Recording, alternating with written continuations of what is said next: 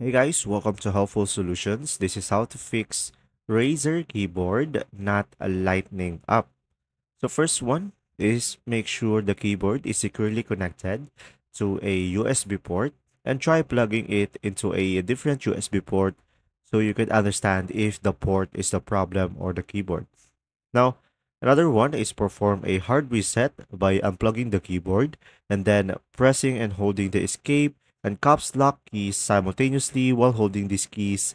Just simply reconnect the keyboard and after that just simply release the keys after a few seconds and this process can resolve unresponsive lightning.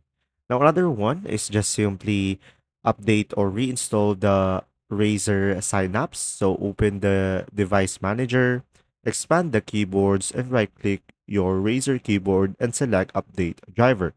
And now if updating doesn't help, just simply uninstall the driver and restart your computer to reinstall it. Another one is just simply open the Razer Synapse, navigate to the Lightning tab, and make sure the lightning effects are enabled and configured correctly. And lastly, just simply connect the keyboard to a different computer so you can determine if the computer is the problem or the keyboard. There you go. See ya.